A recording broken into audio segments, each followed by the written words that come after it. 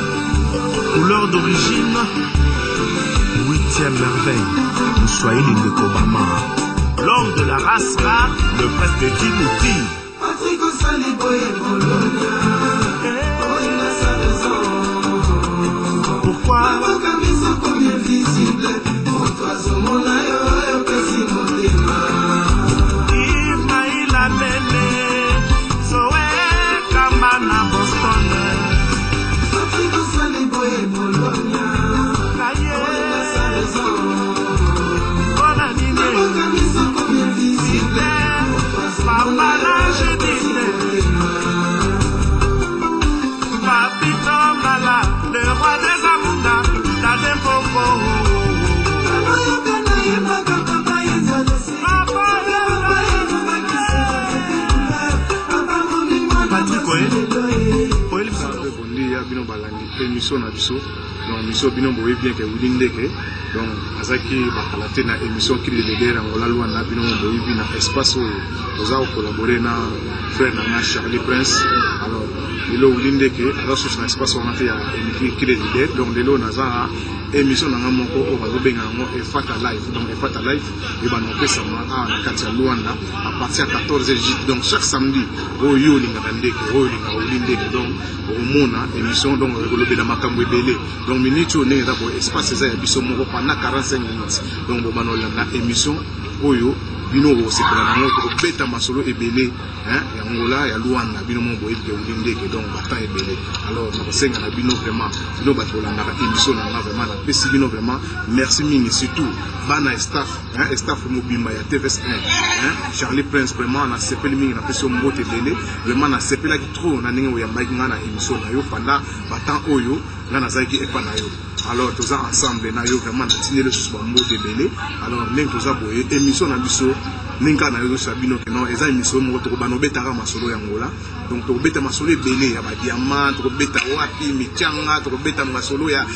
babisai tokobeta masolo ya kombakomba tokobeta Donc eza ka wili ndeke il faut abeta. Alors to beta sur masolo ba grand prêtre oyo bazo sala makambo masolo ebele. Donc soki tolobi ba grand prêtre bazo sala masolo ebele na kati ya Luanda. Donc to mona mbala moko ye moko Ashram. Donc compagnie munene, esprit munene ya Ashram. Donc oyo ezo tongama ye moko PDG ba bengi Alex Momosi. Donc Alex Momosi donc vraiment na kati ya Viana donc eloko oyo pena ozo beta pena na kati ya Viana vraiment bana kini bana mai bino mo bokomona ngo na bilili. Vraiment c'est bon.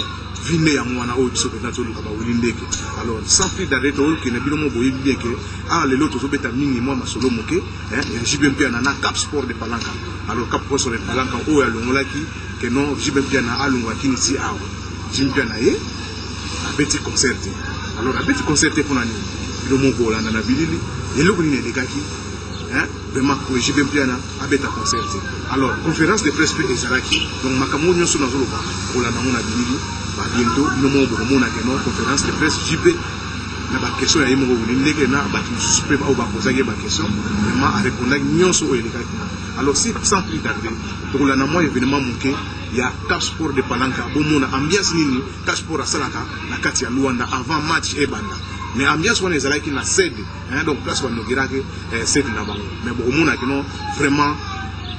grand prêtre de sous betu kangama a na kati ya Luanda vraiment asalaka makambo minene botala na CD wana oyo efungama mais puis eza masolo ya kala mais ba image to kolakisa ngo kombo na ngai Godzilla champion Angola ya catch professionnel ya Angola champion alors Godzilla tomoni yo awa na kati ya bisiko epai ye moko eh, alex pumusi donc na kati ya hotel eh,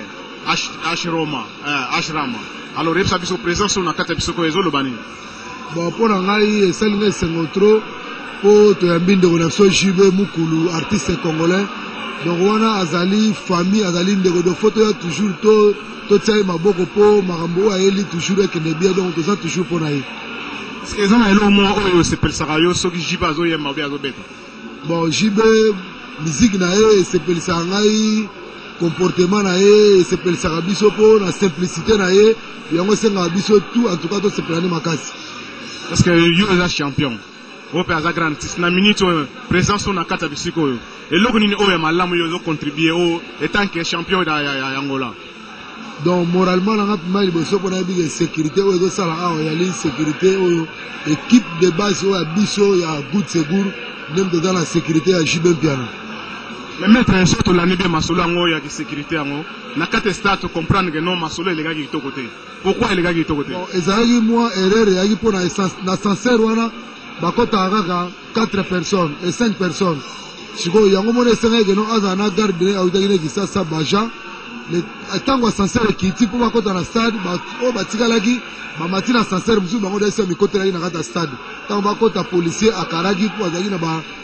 bayaki na baase ya kokotela te na stade yango monaki mbila akomplikaki mais suka yango ekipe ekotaki Yango mpe reperaki ebisaki libanda. Est-ce que oza d'accord na ma information toyoki ke JB balongoli ba bijoux, balongoli ba chapeau, biloko nyonso ekei? Te balongoli ba chapeau te mpo sécurité nde eza toujours partout ndenge aza awa aza na sécurité na ye donc toujours kimia ezali eloko moko eza te bato baloba bilobela te donc mokulu aza toujours na temps donc moto abouge te sécurité eza ya makasi bamete tigre bagaz bataison Machimbila donc aza bana na ceinture ya makasi ya okuba kutu ya jete. Alors maître yebisa biso comment nayebi ke ozwaka mpe mwa parti ya Cap Sport ndenge wana bon boyebi na esengaka garde corps ya principal euh, garde corps principal ya président Betu Kangamba ya Kabush Corp. Invitation na bino na JB Mpiana ezalaki ya ndenge nini? Alors les gens se retrouvaient que non JP abeti te, ye wana azokende na ye. Bon, invitation ezalaki normalement falaki abeta concert. Sikoyo JP aza na contrat na ye na Kin vendredi. Donc jamais akobebisa contrat oyo CD eyakanaki abeta nango vendredi mpo asala activité awa mais eza normal akende mele 11 novembre toza na mokulu awa na kati ya mboka akobeta ndule elongo na biso tokosepela esika moko tomataka na punda. Tolo moko ya dernier oyo okopesa bon nasepeli na bafani tu ya bcbg bakumisaka bcbg bakontinue kosoutenir ko bakontinue kosoutenir toujours mokulu mpo ayali jeune oyo azosala musique congolais toujours mpo akende liboso ok merci maître ok wana bozolanda ye moko kosila vraiment reexplike bino vraiment événement oyo elekaki na kati ya stade nase bino moko bocomprendre alors tozalaka toujours na masolo yango bino moko boyebi kaka toujours endira na plaisir na pesi sujeni play eh, na londres donc mwana oyo azosala kema papa ne oyebi ndeke eh, na kati ya luanda azala jeni play vraiment ekiri mobimba esate ba brésilien eh, sans oublier tokopesa so mbote epa mama iveti biso ya moko vraiment mama ya iveti kimbuta vraiment napesi bino bambote ebele napesi vie na ngai wilfrid compile ya bambote ebele nayebi ye osepeli mingi donc na baévénement oyo ezoleka vraiment alors elira la brésilienne susu bambote ebele jeni play vraiment en tout cas kaka baplay donc bastaff mobimba ya ba brésilien alors na oyebisa bino ke non ba brésilien bino mo boyebi hein bozobungisa pe image ya ba brésilien hein et ba brésilien bazobunga mais comment image ya brésilien ebunga papa wemba avant ke natikela bino mwa richesse moko boye alors ba brésilien enira la brésilien grand na nga hein boss na ngai toni iloka bongo warrior la président ba brésilien mais comment eh, ba brésilien ezokende kaka boye hein pe na nga sele boya kati mai ya pembe hein ye moko ye moko wilfrid bompili hein pe na ngai moko idemo bino moko donc Ba bresilien image ezo bunga. Alors tokozonga kaka na masolo. Boyebi ke conference de presse elekaki na kati ya Luanda. Bato batunaki mituna. Bato basepelaki. Et na kati ya mituna wana, tant conference de presse esili, jipe jipe mpiana papa chéri aobligeaki ke non eh, bana basi mpenza ko eh, badanses mpenza il faut basala mwa eloko moko boye mpo public oyo ezalaki place wana basepela Alors tolanda na bilili conférence de presse oyo esalamaki na kati ya H-Rama hein? epaye moko PDG Alex Rumusi hein? bokomona keno ba grand prêtre bazalaki wana ebele hein? donc nakotanga bakombo te nasi bino moko na bilili hein? nayebi keve na ngai bos na ngai dani dende na kati ya moshina donc ntango ozomona susu empresa ya ashrama donc ezolobeli makambo ebele dani dende real de madrid hein? sans oublier fredi mopunza vie na ngai gilles sava hein Jules Saba benda ngai hein yo ebit donc yebi petit na yo wili ndeke hein donc ou auta wapi donc na ebisi bino ke émission na ngai eza efata live donc efata eza na hébreu elobi boye ke non efata eza kofungwama donc wili ndeke akofungwama alors tolanda nanu hein extrait ya conférence de presse en plus bokomona ke non JB apesaki mpenza ke non badanses mpenza balakisa mwa eloko moko boye mpa bapeuple nyonso mpona basepisa mitema na bango toke na bino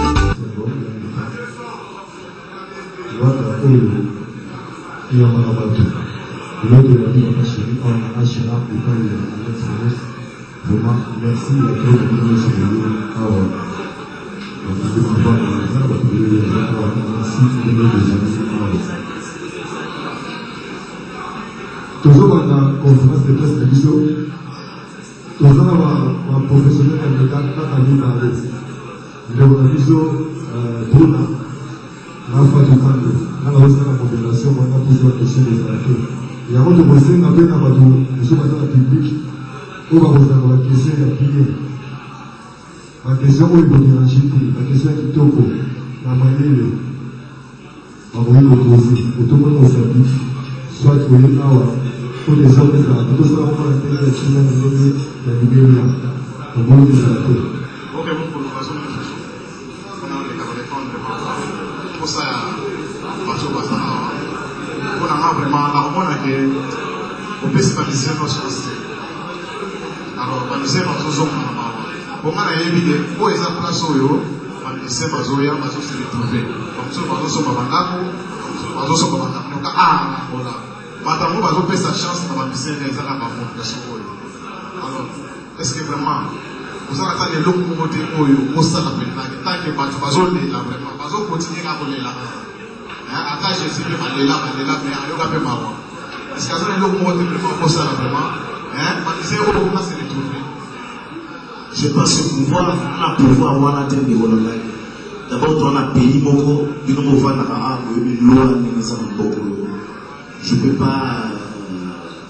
Le père a de lutte. D'abord on a le mosala. Na osala nini na kende ko louer sima wapi mpo na beta. Naza sous couvert ya mutu moko boye oyo abengisa plus c'est un monsieur qui est beaucoup respecté ici dans ce pays. Je ne peux pas vouloir euh, détruire mon image. Il faut que amona ke à travailler na mutu moko aza sérieux à respecter engagement na ye. Ce conseil eza que nazo aoki finance na oya ya problème te. On a soif, on a besoin de jouer. tosala nini faut to respecte mibeko ya mboka bato na contrat toza na yango oyo tosignaki to respecte yango c'est vraiment un grand souci pour nous eza vraiment souci ya makasi ndenge yo moko olobi bato basombaka na ndako basombaka na kar awa donc nga moko nde naza boye nayebi te ndenge toza wana mosusu mwa eloko ekoki naa na rien nde naza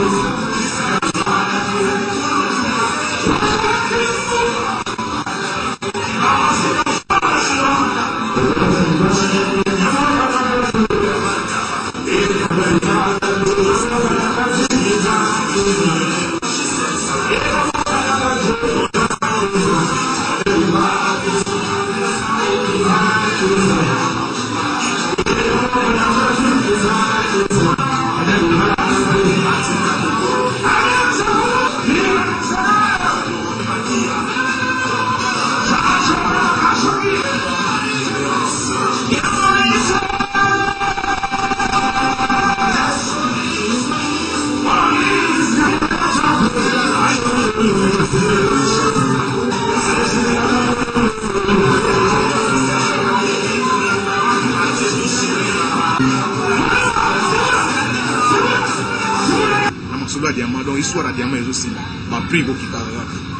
okomona babaisse de prix babaisse de prix mais lelo empereur chacho mbala azongi alobi nini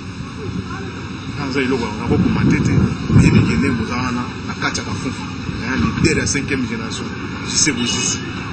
donc oyo azo sala kino wili ndeke hein abima na bilili donc patron ya émission et fata live se bozusu hein grand chanteur de diamant na kati ya kafufu vraiment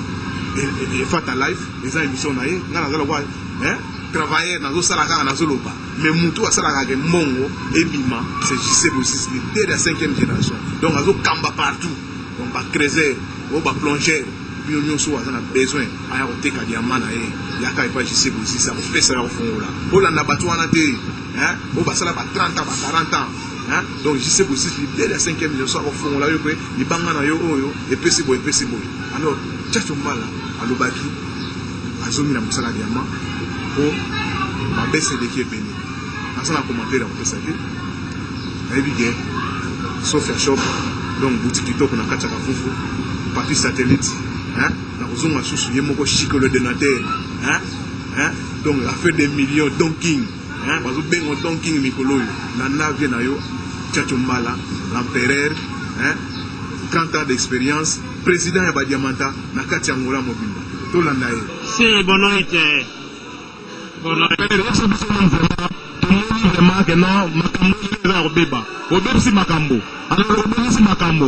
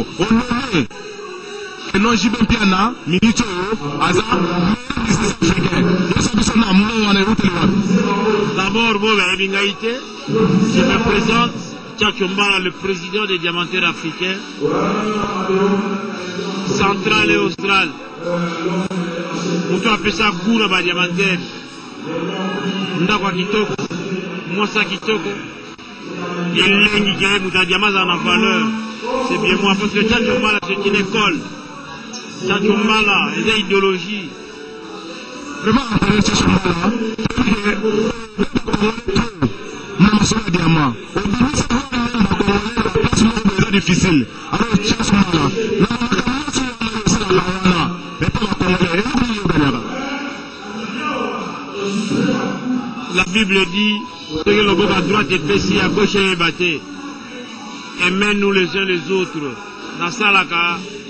mpo nasalisa bandeko na biso. Voilà, mpo nasalisa bandeko na biso. oza president ya bademasphère africain alors ministre oyo préparé ozotoyona ozana na bolenge elungaki ozokende déjà ministre oyo préparation nini ozosala okende oza te okotika mpa ya nani Te, ngai nakozala kaka. Longola makambo nazala te, nazali. Ngai nakozala, mpo nazali. Kaka kokende ekoki nanu te. Ngai nazali. Plus de 30 ans sans faillite, nazali Tchatcho Mbala. Mpo je suis bien organisé. Lokola sikoyo naye kofungola comptoir awa na Luanda, yango omoni ambiance JB. makambo nyonso toza na H Rama oyo Alex Fumusi en tant que le président des diamantaires africains nazobenga ye aweya atémoigne motel na ye awa je suis actionnaire donc voilà euh, toza na comptoir H Ram donc en fait la barrière masolo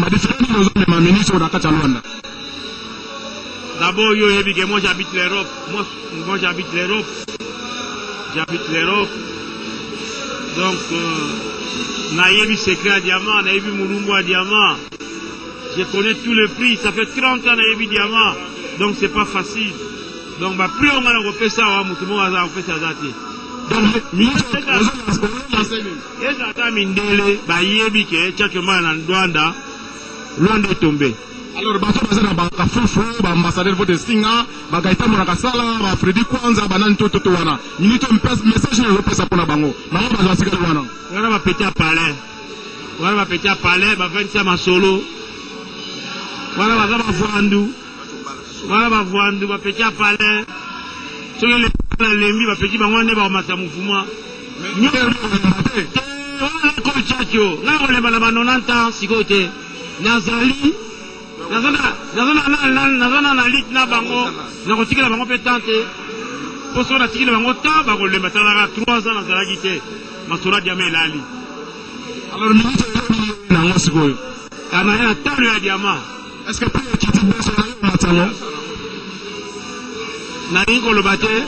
baya na diama bakomona bo bayaki nango deja bamoni Utula ntembe umona peleve. Diamant na mboka mosusu na pesa na diamanta eh ya ba diamant ba paraprise ebele na diamant lokola paraprise yoso biso vraiment empereur vraiment parole d'honneur oyo ozopesa bato oyo eh ba surtout ba creuser ba plonger donc il faut pesa yango parole moko boye mpo bayebi que non en tout cas empereur soki alobi donc c'est comme ça parole nga nakosa na bacreser baprojet batravaille resite ya moto ezalaka na mosala ils doivent travailler si on appelle aujourd'hui kiachombala plus de 30 ans sans faillite mosala eza mosala alors est ce que na mosala dema yo mpe ozalaka na yango obanga mwa motu moko boye te aza peut-être liboso no bena ayaka azoyaka conseil te na mibangaka kanga moko na banga nzambe na kobanga moto ya mokeli te mpo ngo nalengi bakutu mpo nzambe atyanga deja numero 1 donc na kobanga motu te mpo nga naza nga empereur na kafufu wana na ba mushinga eza na pe na bato pe bagangaka do bapesaka pe ba prix alors bato wana peut-être yo minute oyo eloko nini olingi oyebisa bango eh, wana bapeti na nga te donc bato nyonso bapesa ba prix kuna bakaka bapeti na est ce que baza na 30 ans expérience akozwa mbongo peut-être akosala yango 5 ans yo yebi combien de millionnaire nga namona oyo babimaka 5 ans abimi 10 ans asali makele mpe esili ba bapeti na nga na na confiance na bango na confiance na bango wi ampere na nga nayeba masolo ya lunda balobi ke na lunda yo oyaki retard ngamu nasala lunda bana masina bana njili bana kingasani bana kisenso bayebi nalongola chômage na kini Plus de 10 millions habitants, plus de 10 millions congolais bazalaki na Lunda. Operation bana Lunda c'est Tchatcho Mbala. Bazwaki misala, bazongi Kin, basoyi bandako. Famille tout na Kin. Chaque famille, chaque commune bazalaki na mwana na Lunda. Et ba se retrouvaki. Na longola chômage na Kin, nga na Moi retard wana oyaki? Nayaki na retard te, retard par rapport à quoi? Pour nga na Tchatcho.